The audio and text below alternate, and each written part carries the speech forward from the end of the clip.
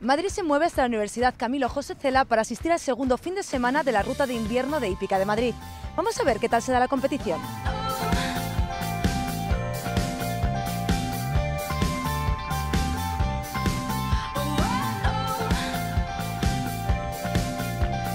Antonio Herreros, presidente de la Federación Madrileña de Hípica. ¿Qué estamos viendo hoy aquí? Estamos viendo un concurso de salto bajo la categoría y concurso nacional cuatro estrellas. ¿Qué destacarías de la participación de la universidad con la hípica?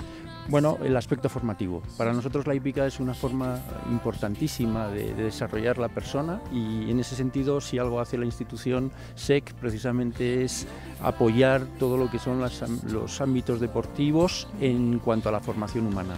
Sonia, estás compitiendo en este certamen de hípica. ¿Qué destacarías de este deporte?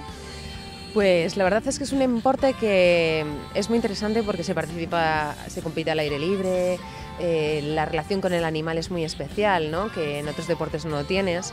Y desde los niños se crea, desde que empiezas a competir, eres un niño, se empieza a crear como una especie de vínculo ¿no? con el animal. ¿no? Entonces es un deporte que viene en dos vías, una por la parte de la competición y otra por la parte de los animales. Si te gustan los animales.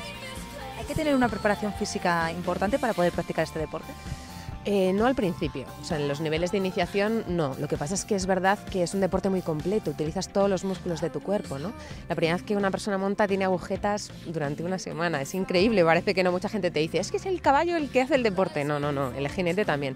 Luego ya estos niveles de competición sí significa una forma física, o sea, hay jinetes que a lo mejor montan diariamente 5 o 6 caballos, ¿no? Entonces eso requiere una forma física, ¿no? Para poder competir. Concha Canoira, directora general del SEC. ¿Qué importancia le da el SEC al deporte? Bueno, la institución SEC desde los orígenes ha potenciado que los alumnos eh, supieran el deporte, conocieran las habilidades deportivas y entonces desde los pequeñitos les damos deportes, tenemos escuelas deportivas, tenemos un club deportivo que es el donde estamos ahora, somos la Universidad del Deporte, hemos recibido premios Joaquín Blume, porque nos parece que, que los alumnos trabajen en el deporte, conozcan los valores del deporte, es algo básico para su formación. Bien, pues una vez inmortalizado el momento por los medios acreditados de la prensa gráfica, probamos a estas dos amazonas y este jinete. Aitor, sois anfitriones de este evento de hípica. ¿Qué supone para el SEC? Bueno, para nosotros es muy importante, sobre todo porque es un, un ejemplo de confianza por parte de la Federación de Hípica de Madrid hacia la institución SEC como una instalación de organización de eventos en los cuales pues bueno pues el ámbito de la hípica para nosotros es fundamental.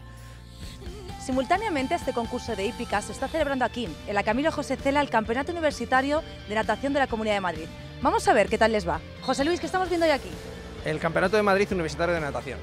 ¿Cuántas universidades compiten? Pues en este momento están compitiendo 14 universidades, algunas con más participación que otras, pero es verdad que por lo general en cualquier campeonato de las universidades de Madrid suelen participar casi todas.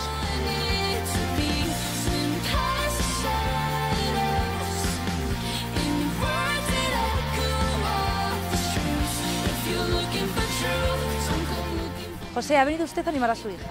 Sí, sí, sí. Ella concursa, entrena en este club y ahora tenemos concurso de salto. ¿Qué siente usted cuando la ve saltar?